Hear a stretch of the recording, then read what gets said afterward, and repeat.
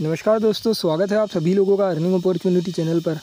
दोस्तों, आज का ये वीडियो उन सभी लोगों के लिए इम्पोर्टेंट होने वाला है जो ट्रेडिंग करते हैं और जो ट्रेडिंग सीखना चाहते हैं। क्योंकि दोस्तों, आज के इस वीडियो में मैं आप सभी लोगों को ऐसे कुछ लाइव एग्ज़ाम्पल दिखाने वाला हूँ जो कि मेरे साथ हुआ है।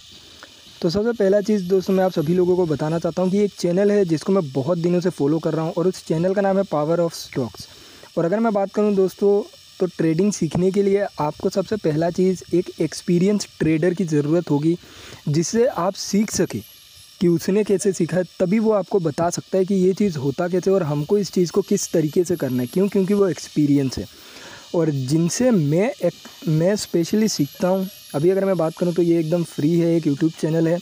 जो कि दोस्तों बहुत ही ज़्यादा एक्यूरेट जो भी एनालिसिस होते हैं, वो सभी सिखाते हैं। साथ ही साथ दोस्तों सपोर्ट क्या होता है रेजिस्टेंस क्या होता है? अगर हम कोई भी, मान लो अगर हम कोई भी ट्रेड ले रहे हैं तो ट्रेड लेने से पहले हमारा टारगेट किस तरीके से सेट होता है, जो हमारा स्टॉप लॉस होता है, वो हमें किस तरीके से सेट करना है। अगर हमारा लॉस हो जाता है तो फिर अब फिर अब हमको कौन से साइकोलॉजी के साथ ट्रेड करना है? मतलब बहुत सारी चीज़ें सीखने को। तो ये सभी चीज़ें दोस्तों आपको उनके चैनल पे सीखने को मिल जाएगा। उनके चैनल का लिंक दोस्तों मेरे वीडियो के डिस्क्रिप्शन में है। साथ ही साथ दोस्तों मैं आप सभी लोगों को बता दूँ, मैं मैं खुद इनका जो भी वीडियो है वो देखता हूँ।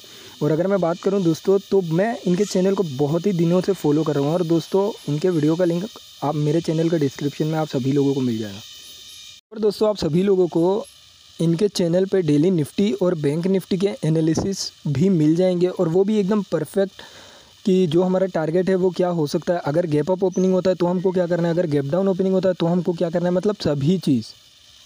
सो so, दोस्तों जितने भी लोग इंटरेस्टेड हैं नीचे डिस्क्रिप्शन में लिंक है उनको आप फॉलो कर सकते हो रोज़ उनके वीडियो देख सकते हो।